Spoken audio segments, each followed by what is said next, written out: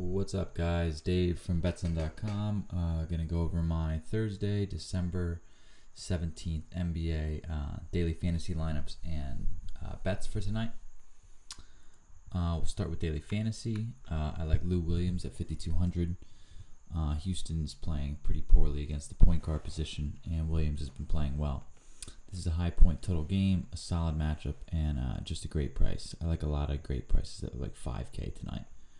Uh, I also like Patrick Beverley at 5K. Uh, he's been playing 35 minutes a game the last few. Uh, that should continue, or should that continue? Uh, he will be worth that price tag tonight as he matches up uh, versus the Lakers defense. At shooting guard, uh, I, I like Kobe tonight. I like paying for shooting guards, and this is actually a great price to pay for someone as consistent as Kobe with that high of a ceiling.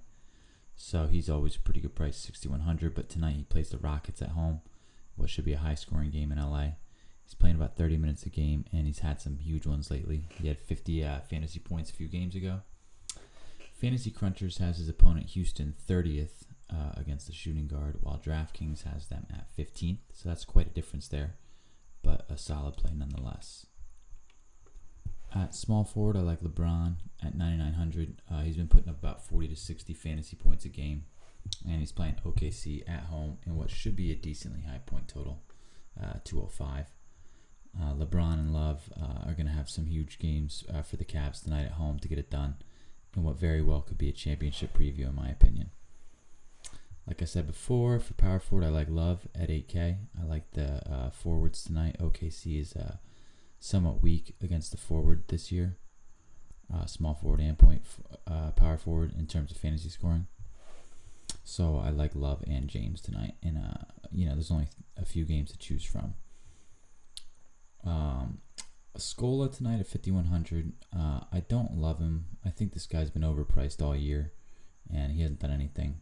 Uh, however, tonight I will be taking a chance on him is there are not that many great games and uh, or there's not that many games in general and great and not that many great matchups. He happens to have the best matchup uh, of the small forwards out there for the Hornets. Um, and I couple that with the fact that Toronto is still suffering from injuries, and their big men should still see some of these few extra minutes due to this. At the center position, I like Clint Capela uh, for 5,500. Uh, he's got a great matchup tonight versus the Lakers um, who are not only uh, bad at defense and rebounding, but really bad against the center. Um, he saw 13 minutes a game or 13 minutes last game due to an illness, but he still scored 20 fantasy points, and he's had a very he's had a few very quality showings in the uh, past 10 games. He should see uh, about 30 minutes again tonight. Uh, I like him over Howard because he should be less owned, is cheaper, and uh, Dwight's just um, I think he's checking out of the season soon. He's been grumbling about being traded think he's trying to uh, get into the new Tyler Perry uh, movie as opposed to win a championship. So uh, I like Capela to start coming up, and I especially like him tonight. And last but not least, I like uh, Roy Hibbert at 4,700. Uh, he's been playing above his pay grade lately. Uh, he should continue to see the minutes tonight because of that. He's got a solid matchup in a, what should be a high scoring game versus the weak defense and rebounding of the Rockets. So I love him at 4,700 tonight. As far as who I'm betting, um, I went 0 1 last night, losing my Nets plus 5 pick by a point as they lost by 6 against the Heat at home. There's only three games tonight, and I do like two of them.